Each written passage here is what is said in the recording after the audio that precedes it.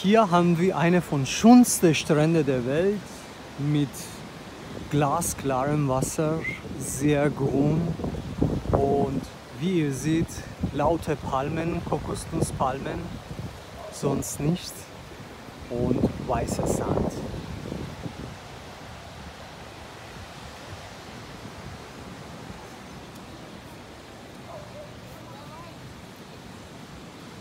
Hier sind auch laute Restaurants am Strand.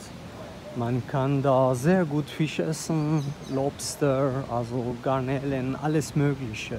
Auch Muscheln. Die haben sehr gute Seafood.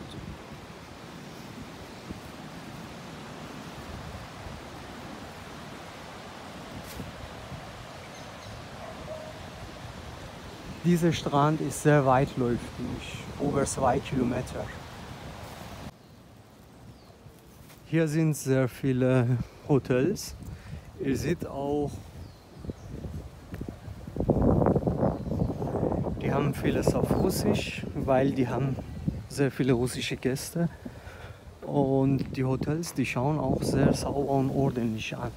Aus, ich habe ein paar von ihnen besichtigt und die waren sehr schön. Hier, also hier sind die Hotels sehr schön. Ansonsten in die Städte, ihr findet die letzte Dreckbude